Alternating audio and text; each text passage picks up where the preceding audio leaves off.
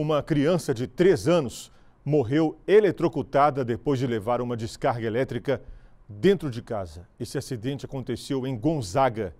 O repórter Miguel Braz, ao vivo, conversa comigo aqui no telão sobre esse caso, Miguel. Que triste, né?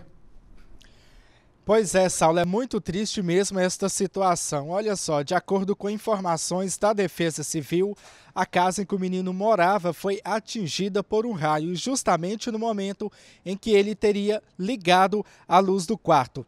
De acordo com a Polícia Militar, a avó do menino relatou que chovia forte no momento e que também, né, com muitos relâmpagos, quando o neto se aproximou do apagador da luz e de repente recebeu a descarga elétrica. Ainda de acordo com as informações, ela só escutou a criança gritando e depois percebeu que ela estava desacordada. Então, a mulher levou a criança até um sítio e depois para o atendimento médico.